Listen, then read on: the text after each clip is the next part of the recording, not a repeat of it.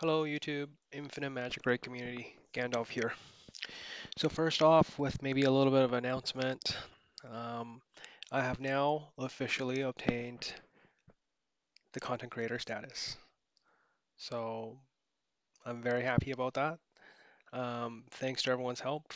Uh, finally got there after just, you know, about a month.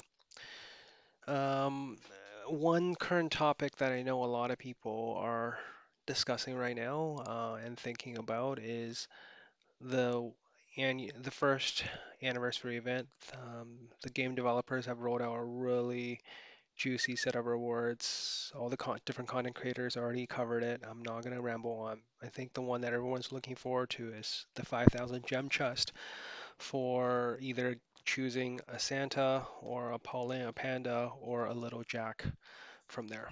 Now, now if you're a whale, you probably have, you know, exclusive three on all three of them. So, you know, if you have all of them at E5, then, you know, there you go. Another 100 points to your in card in, in your sanctuary. But, you know, for others, um, probably it's a tough decision, especially if you don't have any of them at exclusive three yet. So hopefully today's video, I'll help you talk about the pros and cons about about um, each of these heroes and you know what you could potentially choose from.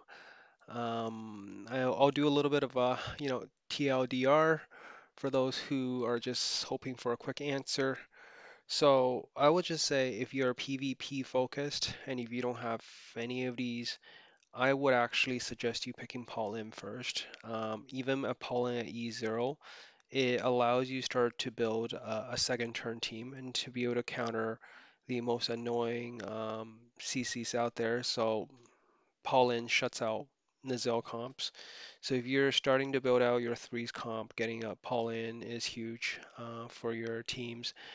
Um, and getting the E1 E1 really helps you with dealing with any sort of CC based team. So Paulin shuts out all CC based meta teams and it will really help you advance in your PvP progression, uh, especially when you're on a relatively newer server. Now, having said that, uh, many players I know out there are also more PvE focused, and in PvE, um, you know, farming up your dungeons is super important. Now, I would say Santa is probably your your go-to pick for for early on, but to be fair, right? Let's, you know, putting everything aside, you know, do you really need Santa? And I think in some of my videos I've shown that, you know, you don't really need Santa to push certain level of content. Um, I would actually say Santa makes things easier. It doesn't necessarily is absolutely mandatory. Um, for example, I think even in, you know, at the end of the, you know, near end game, I mean, the top meta teams don't even have Santas in there potentially, right? Because you can you you're running Lydia with Nordak and Marvel, uh, for example, as your standard defensive side of things, and then you have two DPS for high-end gameplay.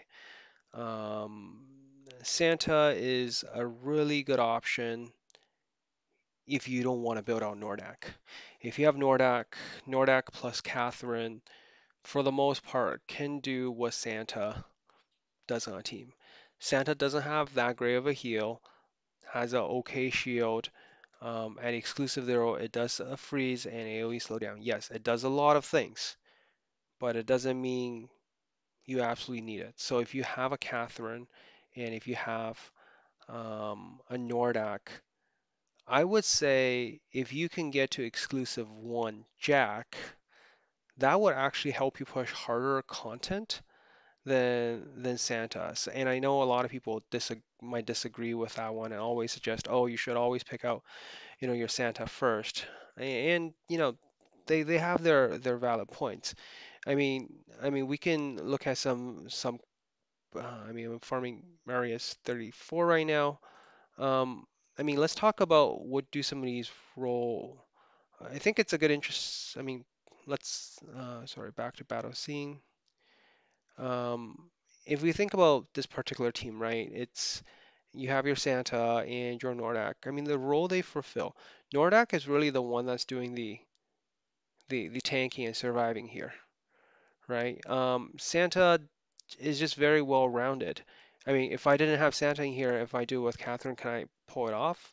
Yeah, I probably can. I mean, I do have the speed up from a mook, right? What's really going to help you reduce the boss damage is actually Jack and a hero that can do defense down, uh, sorry, that can do attack down. A lot of people ask the question of, you know, um, what is the point of, you know, Jack, another 40%? I th if you haven't checked out my video on how the damage formula works, you really should, because that will explain why and how massive the additional 40% um, attack down is. Okay, to put things into perspective, okay, if the boss is hitting you, say 100,000, with 40% attack down, the boss is likely going to hit you only 50,000 or less. Okay, it's more than just whatever, you know, that 40% reduction is when you're doing an attack. This is because of the way how the damage reduction formula works in the game. It's it's basically the attack of the boss divided by the boss's attack plus your defense. So the more you can reduce it, uh, reduce the attack, the the less damage is going to go through that way. Um, so, so um, now if you um, the dam sorry the damage reduction is just you know defense divided by the the boss's attack plus your defense. So the smaller you can make that attack, the great the bigger the magnitude there. So when you do going from a 40% to an 80%, that's like the boss hitting you from 50k, not hitting you 20k, but more like hitting you only 10k. So a 80% attack down will will reduce the boss's damage by more than tenfold. Okay, that is huge to your survivability. So before you will probably die very quickly at Marius 34. Now, you know, the boss, you know, barely tickles you. Okay, um, so from a survivability standpoint, like this is going to be able to help you push much harder content than um, stuff you couldn't push before. Um, so, I mean, on my other accounts, you can see that it's using um, it only has a Santa E1, and before the longest time I was running Santa E0. And Santa E0 is great, right? It allows you to go for that freeze, gives you a little bit of shield. It works really well with Catherine. Uh, at E1, you get the 40% speed up, which is, you know, very useful utility-wise. Um, but in the grand scheme of things, it, is it going to help you clear harder content? And at the end of the day, the answer I will say is no. Um, having Santa E1, E0 is not going to help you clear harder content because Nordak um, will give you a way bigger boost on survivability than Santa, Santa will be able to do. Um, the the reliability from the freeze, you you need way too much effect hit for you to land that 100% um, of the time, and you're not going to achieve the results that you want from that particular freeze earlier on in the game. So I would say if you're early on, you know, and if you, unless you don't plan to get a Nordak, by the way, and I can say that, you know, I actually um, converted my Nordak to something else on my other account early, early on, just because the fact that I was, you know, I was about to get a Santa E0. So if you want to save yourself from a Mythic, hey, getting Santa might be worth it. But if you already have a Nordak and you have a Catherine, uh, and you know what, especially if you have like a Mamook or you know French where you have, or even a Hal, something that helps you do the damage reduction.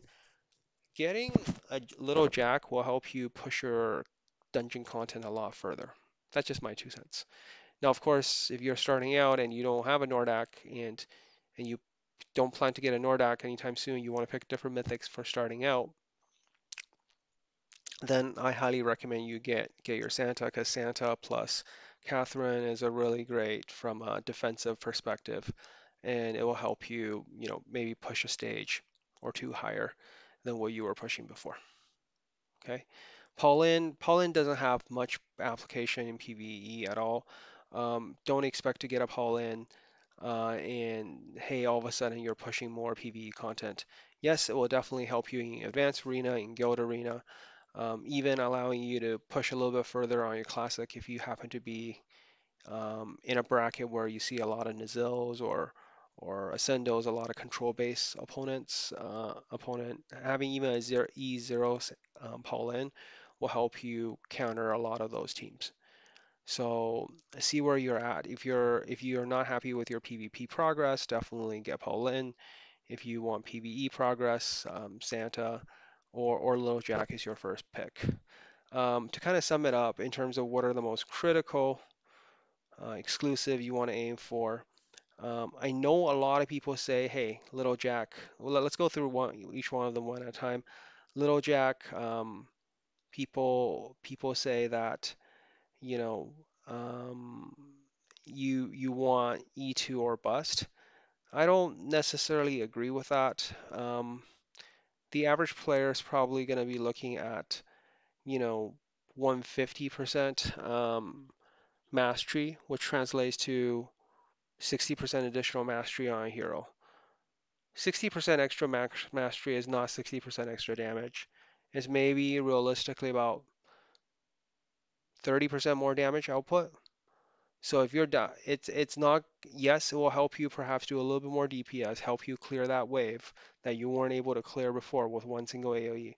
In the grand scheme of things, you know, you add you add 30% DPS to to you know your your Nita to your to your Has is great, right? Like here I'm running a E2 Jack, but what really is the deal breaker here is the actual the 40% additional damage reduction. So I would actually say E1 Jack is probably the one exclusive that helps you push to a new ceiling in PvE, um, PvE the most. Okay, and then the next one is probably Santa E3 because that one additional apple all of a sudden give you way more margin of error. Uh, and then the the the perma-freeze setup. So the Perma Freeze setup allow you to run um, compositions in PvE, especially in Elemental City, where you can then really take out another hero um, to rely to deal with the waves a lot easier. But uh, again, I, feel like these exclusive are nice to have as opposed to a necessity.